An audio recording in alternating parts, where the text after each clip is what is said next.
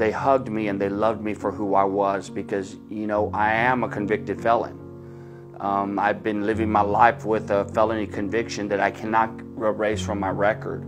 Um, but they accepted me for who I am.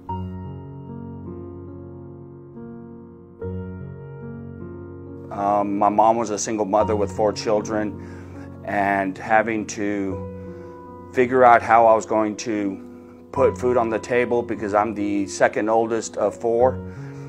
And uh, so, me and my older brother had to figure out ways to support my little brother and my little sister because my mom was having to um, work and go to school at the same time, which made it very, very hard.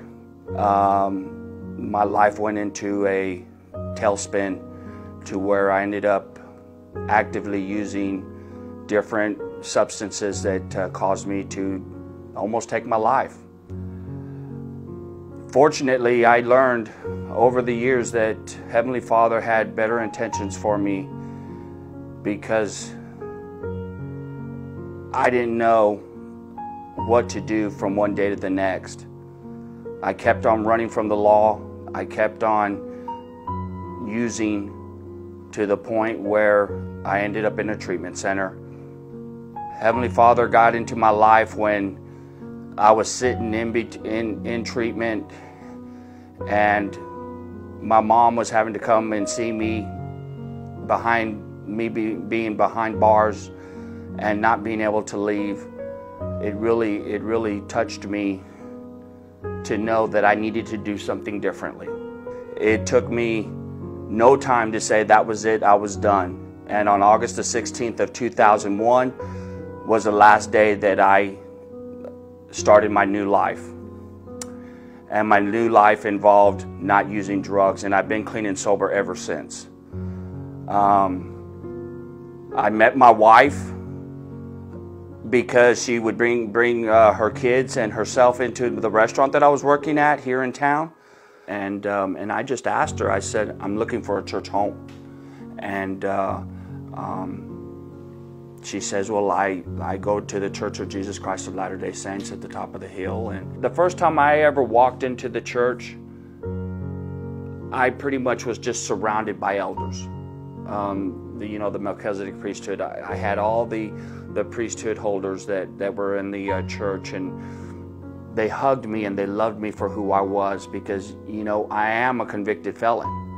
Um, I've been living my life with a felony conviction that I cannot erase from my record.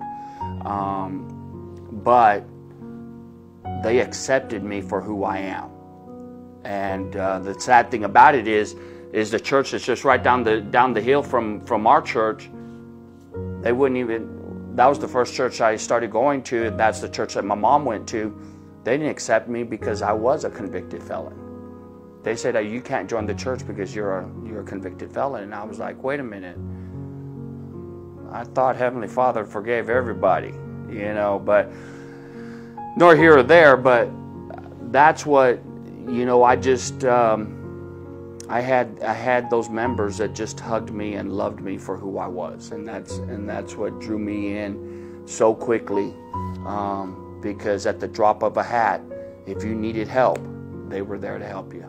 And um, um, and I'm like, well, what do I have to do to um, to start learning the lessons? Because when I didn't know at that time, I didn't know about Joseph Smith. I didn't know about um, the teachings of the Book of Mormon and First and Second Nephi, and didn't know any of that. And uh, eventually, I learned.